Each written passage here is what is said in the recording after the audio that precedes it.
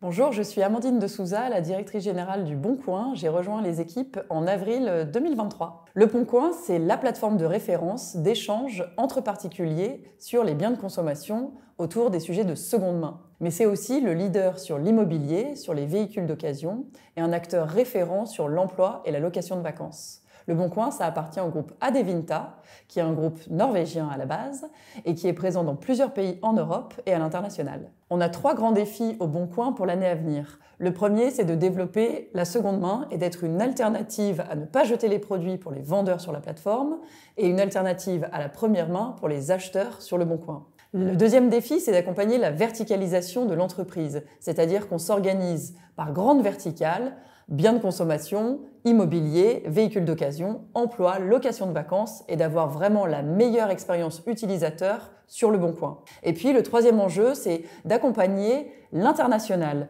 On travaille avec les autres plateformes qui sont présentes chez Adevinta pour proposer demain du cross-border à nos utilisateurs. Une des valeurs fondamentales chez Le Bon Coin, c'est la proximité. La proximité entre les collaborateurs qui travaillent en étroite collaboration, même s'ils sont parfois sur différents sites, notamment en France ou à travers l'Europe au sein du groupe Adevinta. C'est aussi la capacité de se dire les choses avec bienveillance, avec transparence, et on a vraiment cette proximité où qu'on soit dans l'entreprise. Et puis enfin, c'est la proximité avec nos clients professionnels et avec nos utilisateurs.